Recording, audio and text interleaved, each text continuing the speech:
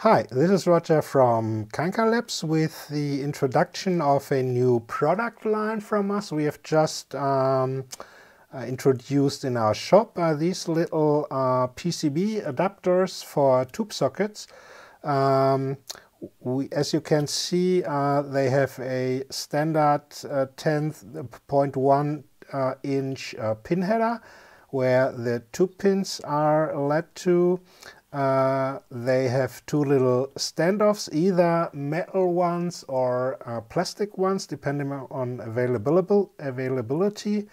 Uh, if you prefer one type, uh, metal or uh, plastic, then please leave us a note when you order them and you'll get the type that you want.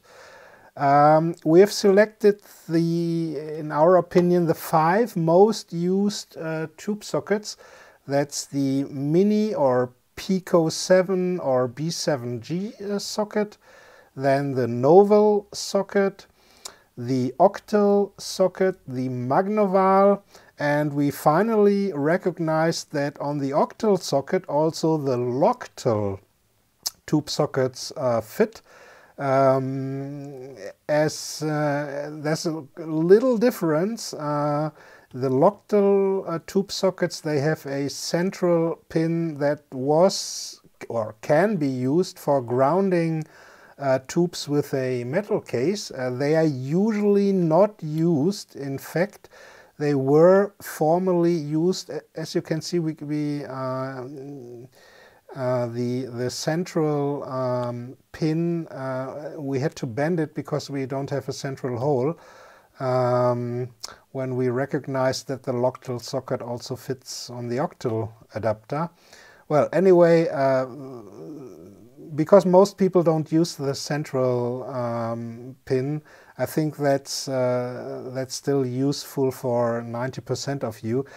Uh, later, we surely, when we make new uh, PCBs, we'll make a dedicated Loctal um, socket adapter. So uh, anyway, uh, for all of you who uh, want to go beyond what we supply in experiments with our tube experimental kits, uh, with these adapters you can either on a breadboard or on a perf board or on a PCB on your own with a standard 0.1 inch um, pin distance you can uh, build extensive tube circuits, uh, prototype circuits, and um, uh, the first customers are all very happy uh, with them. Uh, we've got many replies that was exactly what they have been searching for. And so I think I made a little video to show you and to introduce to you this new line of PCB tube socket adapters.